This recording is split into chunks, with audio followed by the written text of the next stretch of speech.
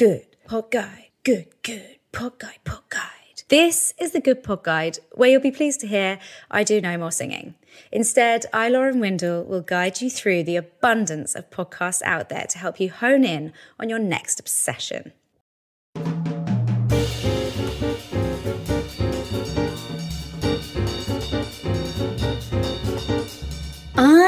Come across some famous people in my time, you know, and get ready to send someone out to the shed to dig out the wheelbarrow because you're going to need something to store the names I'm about to drop. Okay.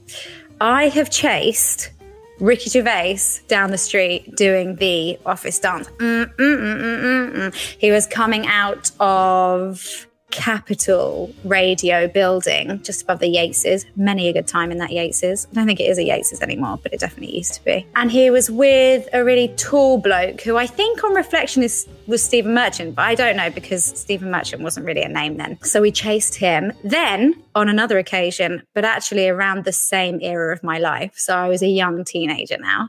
I waited outside I'm actually not proud of this one. Waited outside Daniel Radcliffe's school with some of my friends. There was probably about 10 of us. And this was way back in the day when he'd only filmed one of the Harry Potter films. So he still actually went to school in person. And we had all drawn lightning bolts on our heads in eyeliner.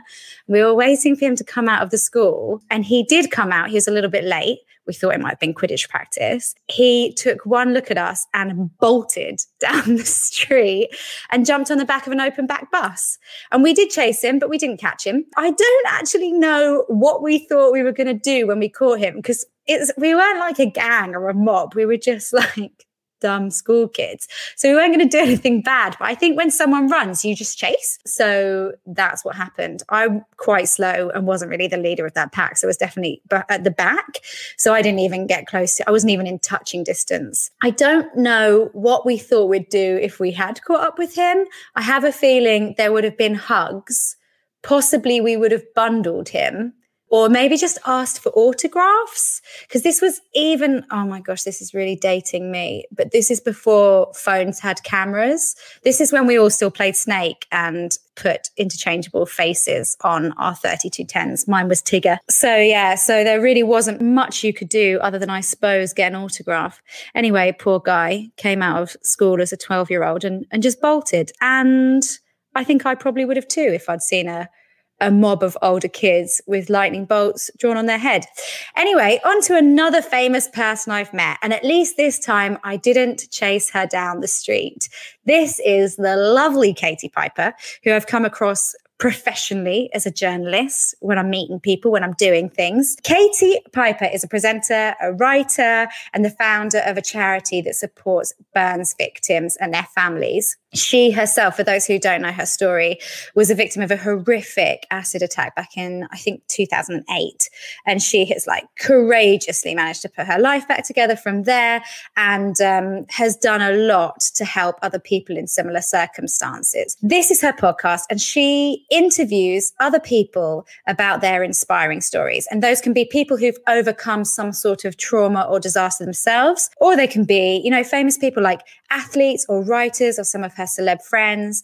Guests include Craig David, Carole Baskin of Tiger King fame, Michelle Visage, Laura Whitmore, writer Elizabeth Day. There's one that I listened to that I just I really liked, which was Dame Jessica Ennis, and she spoke about how she became an athlete and how her parents just thought it was like a bit of fun for her as an after school activity until they realized like just how talented she was. On the author side, you know, she's got one. Katie's got one up there with Adam Kay, who is always such a great laugh, and I just think you can't go wrong with the comedian when it's these interview shows. I actually even went to go and see his show during. Uh, the pandemic, he did a one man socially distanced show, and I went to see it in London. It was so good. It was so good. I really rate him. If you're in need of a big old confidence boost, though, I feel like the Paloma Faith episode is definitely the one that you should dig into.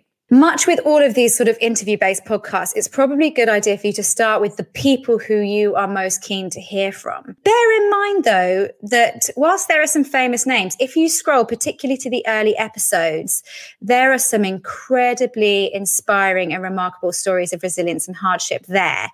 And you may not actually recognize the names. So, for example, Denise Fergus, who is the mother of Jamie Bulger, or Jonny Benjamin, who attempted suicide on Waterloo Bridge, but now dedicates his time to helping others. So don't necessarily go for the A-listers when you're picking out an episode to try. Episodes are 30 to 40 minutes, and there are 60 or so at the time that I recorded this review. This is an uplifting listen. Katie's got a really gentle way of relating to people, and crucially, she lets them talk and express themselves. And sometimes interviewers, kind of make it a bit more about them, but she doesn't fall into that trap. This isn't just a podcast for her to talk about her story. She really is there to listen. The aim is to inspire. And I think, along with her guests, she does a great job of that.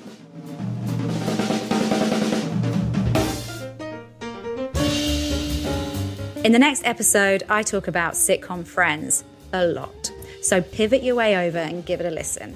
For more info on the Good Pod Guide, visit our website www.goodpodguide.com or follow us at Good Pod Guide on Instagram and Twitter.